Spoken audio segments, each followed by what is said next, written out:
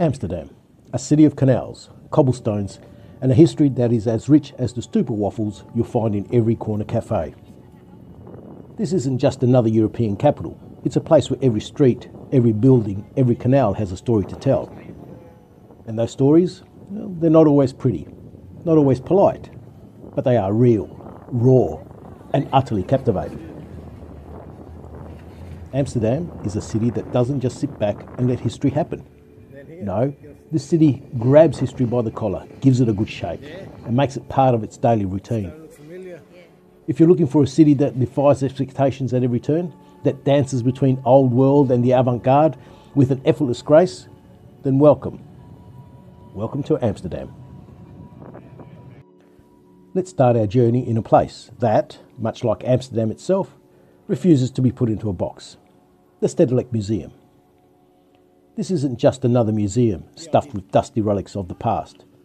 No, is a sanctuary for the modern soul, a place where the chaos and beauty of the last century is captured in vibrant, sometimes jarring detail.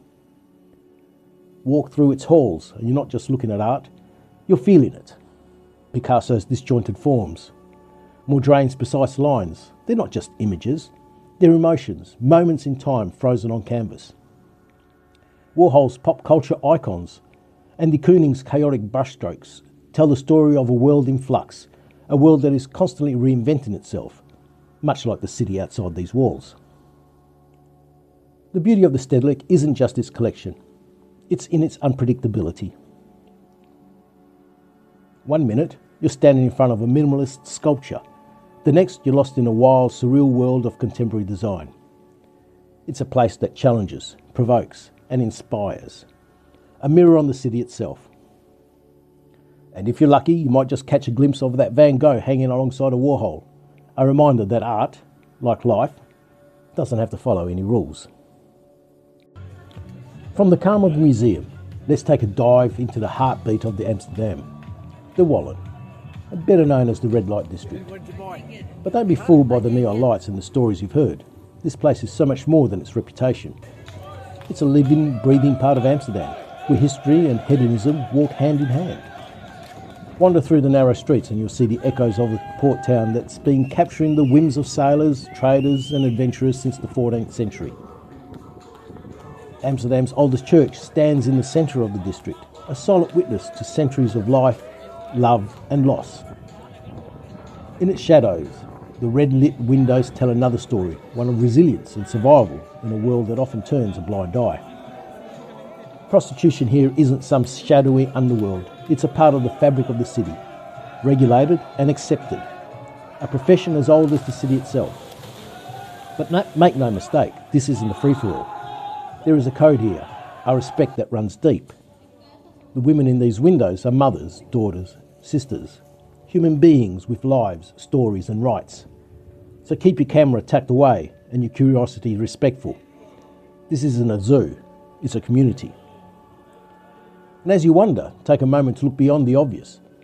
The Red Light District is also home to some of the city's most fascinating museums, quirky cafes, and, and yes, even a few more churches. It's a place that challenges your perceptions at every turn, a place that shows you that nothing in Amsterdam is ever quite what it seems. Just a short walk from the Wallen lies the beating heart of Amsterdam, Dam Square. This isn't just a square, it's the crossroads of history, where the city's past and present collide in a vibrant, chaotic dance. Stand here and you're standing at the very centre of Amsterdam's story. To your left, the Royal Palace looms large, a monument to the city's golden age, when Amsterdam was the centre of the world. This was a time when the city was flush with wealth, power, and influence, and the palace reflects that in every grand column and towering facade. To your right, the new church stands as a reminder of the city's spiritual side.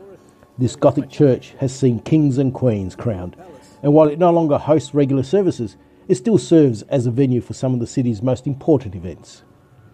Step inside, and you'll feel the weight of history pressing down, a history that's both majestic and magic. In the centre of the square, the National Monument stands tall, a stark reminder of the horrors of war and the resilience of the human spirit. Every year on May the 4th, the square becomes the focal point for the country's Remembrance Day ceremonies, a time when the city pauses to remember, to reflect, to honour those who fought and died for the freedoms we so often take for granted. But Dam Square isn't just a place for reflection. It's a place that's alive, vibrant, pulsing with energy.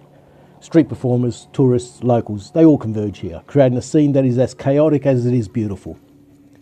This is Amsterdam at its most quintessential, where the past is never far away, but where life is always moving forward.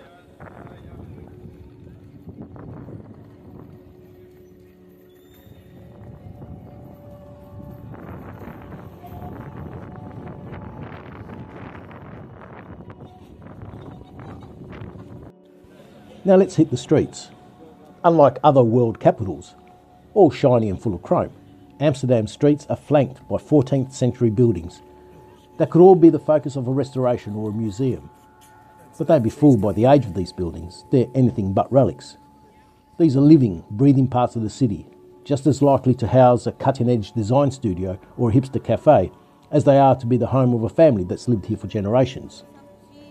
As you walk, take a moment to soak it all in the locals, the tourists, the retailers, the students. They all coexist in harmony, each moving at their own pace, each living their own story. And that's the beauty of Amsterdam. It's a city that invites you in, makes you part of its story, and lets you go, charged, inspired, and maybe a little bit more aware of the world around you. This is Amsterdam, a city of contrasts and contradictions, where the old and the new, the sacred and the profane all exist in a delicate balance. It's a place that invites you to explore, to question, to lose yourself in its labyrinth of streets and canals. But more than anything, it's a city that makes you feel alive, because here, in this city of freedom and tolerance, anything is possible.